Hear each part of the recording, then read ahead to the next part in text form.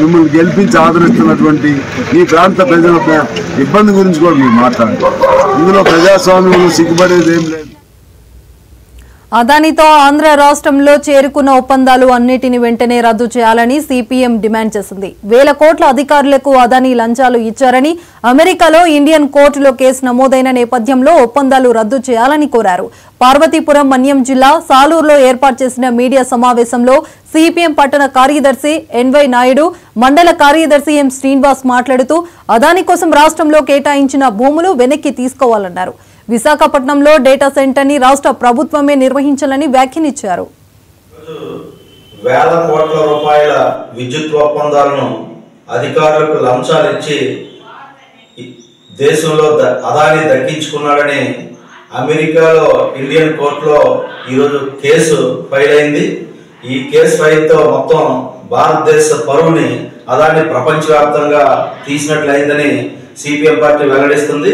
SECI ఒప్పందాలన్నీ రద్దు చేసి గ్రీన్ ఎనర్జీని రాష్ట్ర ప్రభుత్వమే బాధ్యత పడేలాగా గ్రీన్ ఎనర్జీ ఇచ్చే విధంగా ఈరోజు చర్యలు తీసుకోవాలని చెప్పి వెంటనే ఈ అవినీతిపై నిగ్గు తేల్చాలని చెప్పి సిపిఎం పార్టీ తరఫున సాలూరు నుండి పాపం మన్యం జిల్లా డిమాండ్ చేస్తున్నాం.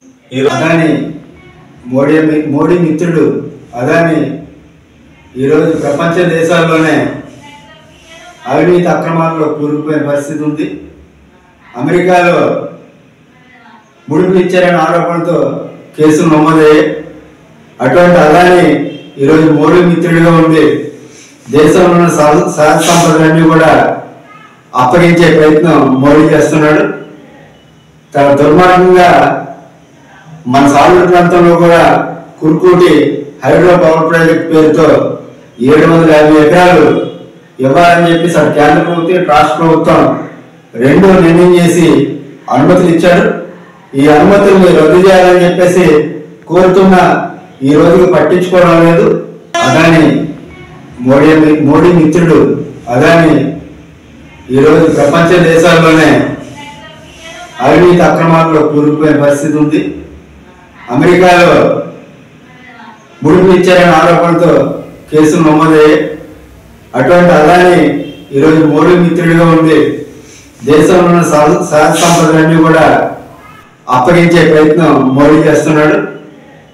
తన దుర్మార్గంగా మన సాగుడు ప్రాంతంలో కూడా కుర్కూటి హైడ్రో పవర్ ప్రాజెక్ట్ పేరుతో ఏడు వందల యాభై ఎకరాలు ఇవ్వాలని చెప్పి సార్ కేంద్ర ప్రభుత్వం రాష్ట్ర ప్రభుత్వం రెండు నిర్ణయం చేసి అనుమతులు ఇచ్చాడు. ఈ అనుమతుల్ని రద్దు చేయాలని చెప్పేసి కోరుతున్న ఈ రోజుకి పట్టించుకోవడం లేదు.